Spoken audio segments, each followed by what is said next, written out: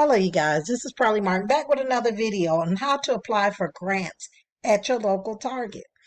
Okay, so here at the top, I've already put written in Target Community Grants. So we're going to hit here, Target Community Grants. We're going to go to,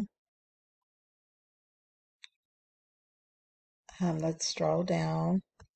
You're going to see here, it says gift cards request. You're going to hit the gift card request form print it out.